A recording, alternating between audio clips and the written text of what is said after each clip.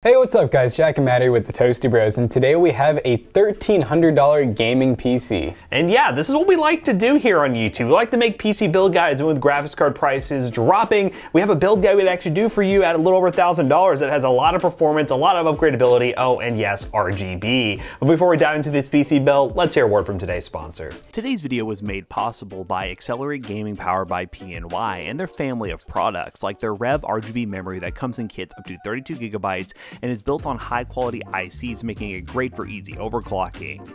They also have powerful Gen 4 SSDs like the CS3140 with 7500 MB per second read and 6850 MB per second write, and capacities of up to 4 terabytes. Lastly, they also have awesome RTX graphics cards like this RTX 3060 Revel Epic X with its two fan design and super nice RGB, making it an awesome option for your next gaming PC build. Check the link down below to learn more, and special thanks again to Accelerate Gaming powered by PNY for bringing bringing you this ad. So this PC is composed of all new parts, something pretty similar to what we'd probably build at our PC selling business, PCBros.tech, but yeah, really, really just nicely compatible build. Everything goes together well. There's not any major bottlenecking because, you know, here at the Toasty Bros, we play a lot of video games and we definitely make sure that we're not going way too high end on the CPU or GPU when it comes to gaming. And hey, this bad boy will be able to stream easily as well. So let's go ahead and talk about each individual part and how it makes up this beautiful gaming PC build. Ladies and gentlemen, we have the Ryzen 5 5600X. This is a 6-core 12-threaded processor that has a really good base and boost frequency. AMD Ryzen has brought some new stuff to the table. We have the non-X variant, which is the same exact CPU, just a very, very slightly downclock. And then there's the 5500, a kind of similar deal, just a downclocked version. But yeah, there's a lot of options in the market right now. So just see what fits the budget. I know this one we got for a pretty good price. Uh, you know, they used to be $300. They've definitely came down from that. There's even the 5600G,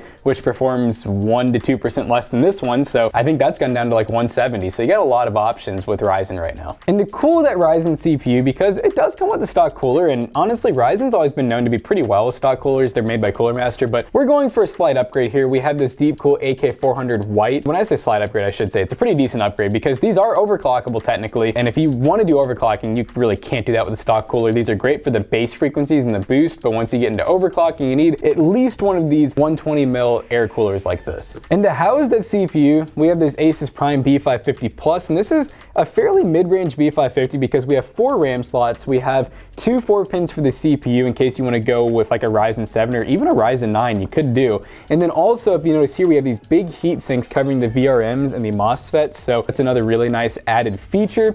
Um, so definitely an upgradable board, and on top of that, it's full size, so it's going to fit in our case really well because that is something we like to do here is try to make sure that we fit all the components nicely. And for the RAM, we have this PNY Accelerate 32 gig kit at 3600 megahertz. Is 32 gigs enough? It's more than enough. Um, really, 16 would be enough. And I think originally we allocated for 16, but you know, PNY being nice people sent us a 32 gig kit, and it really didn't bump the price up that much. So honestly, it kind of makes sense. And speaking of that, we also originally had a Gen 3 drive plan, but we also got this Gen 4 drive, and surprisingly, it didn't add much to the cost at all. We were a little bit worried at first that it might screw up the budget. Really, I mean, Gen 4, 32 gig, 3600 megahertz RGB dual channel, and I mean, look at these speeds, 7500 and 5650. That's some crazy Gen 4 speeds. So I can't really be upset. One thing to keep in mind though is if you do want to go down to like a 5600G or something like that, you do lose Gen 4 support. So this drive would still work, but it would run in Gen 3, so you wouldn't get the super fast speeds. Now look at this, guys. We have an RTX 3060 that I bought new Amazon Prime shipping. God, I couldn't, I didn't think this day would actually come up, but you just stole it.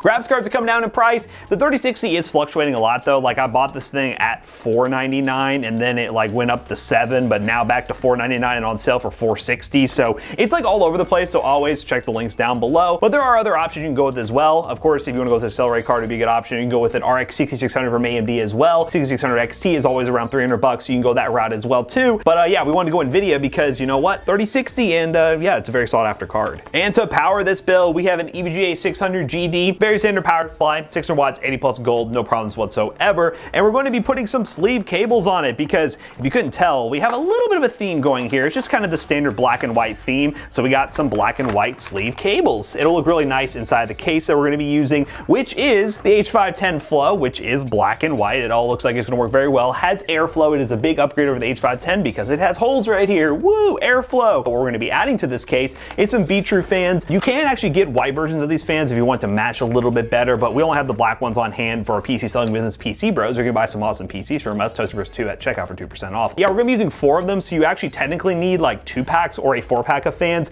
to fill up the two up front and the two in the back, but links down below for everything. I think this is gonna be a really awesome build and I'm very excited to see how it turns out. Let's build it.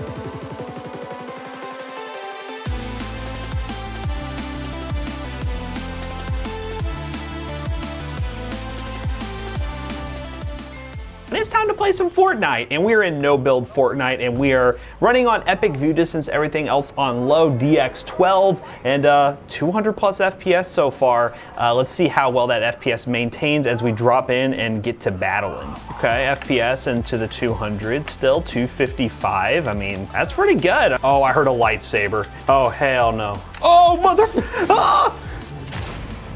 Man, oh God. What is going Oh, we just went through the floor. what? What? I can't let that be how I die. I'm chasing this guy. I realized this was not the Fortnite that I thought it was. there you go. The hotness just, it, it ruined my mind. The hotness just, it, it ruined my mind. Smell hot? No, it smells like chocolate. That's the scary part. it smells like chocolate. Supposedly it's 9 million Scoville units. It translates to hot. Here, I'll take the littlest one. Oh, no way. Oh. Dude, how is it that hot? what the hell? Oh! Oh, it's disgusting. Oh, my eyes. I can barely see what's going on. Oh my god. I'm gonna bite it. All right now. I'm gaming. Yeah, we only had one one candy bar, or uh, what is this called? Ice cream? I can't even think right now. Would you eat the whole thing in one bite to end world hunger? Yeah. All right, ladies and gentlemen, we are now playing Apex Legends and we are maxed the F out. Wait.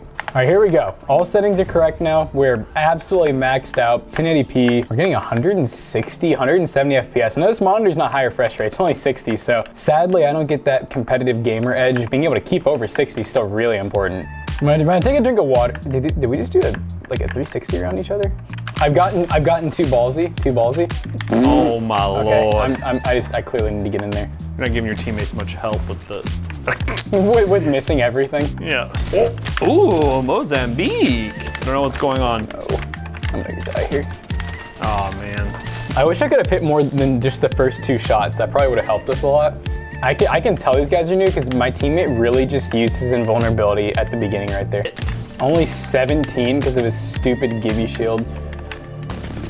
God, these guys are so useless. The gameplay might not be good, but the PC's good. Let's go to the next, Next game. All right, guys, we are now in God of War. Um, as you can see from the graphics right here, running high. You know what? For the fun of it, we're just gonna go ultra. We're gonna see what ultra looks like. We're getting about 60 FPS. This game is very demanding. As you can see, the 3060 is at 99%, definitely maxed out. There is also a fancy feature called DLSS from NVIDIA, where you can actually get some free performance and run in ultra settings. But I wouldn't do that when you're running at 1080p. I would only do that if you want to play at like 1440p or something like that. So, see, I play bits and pieces of this game, and then I forget how to actually play it. Uh, do I need to?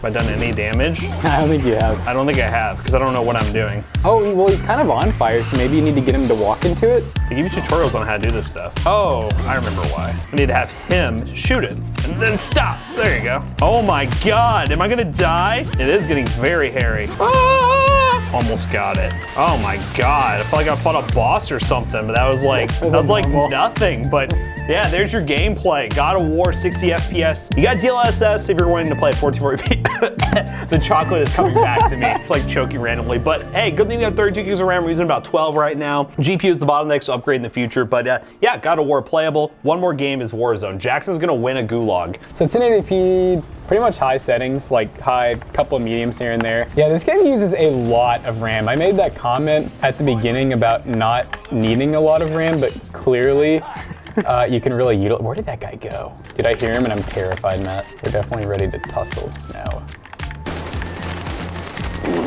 Please! Wow, that was have been so bad if he you. Oh man. Dude, that that metal bar, I, you would think some bullets would make it through, but no, not a single No. one made it through there. Really. I don't know, man. Because this game sucks. Getting well over uh, 100 FPS most times, though, definitely looking pretty good. I'm just noticing a guy like just sitting in a corner and just waiting. He thinks you have something to lose. Oh, here we go. Oh! Oh! I have nothing to lose. Nothing to lose and everything to gain. What is going on? Oh, no, he's gonna get me. Oh man, that was That three guy was kills. crouch walking. Look at him. Oh, and that- well now, okay, now he was going crazy. This is definitely different. He never wins the gulag. I don't know what happens to him. But yeah, this PC, 1300 bucks, I think performs pretty well. Looks Pretty well. nice also. Um, yeah, let's just wrap this video up real quick. All right, guys, we were pretty excited to benchmark this PC and actually see every game that we threw at it, we were actually able to run 1080p, pretty much ultra settings, and maintain 60 FPS in every single game. Some alternative suggestions for the graphics card, if for some reason the 3060 is really expensive right now, is the RX 6600 or 6600 XT. Those normally stay around 300 to like 350 bucks, depending on which model you go for, and they will have equal performance minus some of the NVIDIA features. So check the links down below for all the parts featured in today's video, along with some other options if some stuff comes in and out of stock, but very happy with this build for the money. So as always, we hope you guys enjoyed today's video. If you did, check out our other two YouTube channels and also our twitch.tv slash toastybros, and do not forget to like, comment, and subscribe. And we'll see you guys in the next one. Goodbye. This PC right here will actually be for sale at our own PC selling business. PCBros.tech is where you buy awesome gaming PCs, gaming laptops, and other cool stuff. If you just don't feel like building your own PC, just buy from us. Use code ToastyBros2 on checkout to save 2%, not 4, 2%. Link down below. See you guys later. Peace out.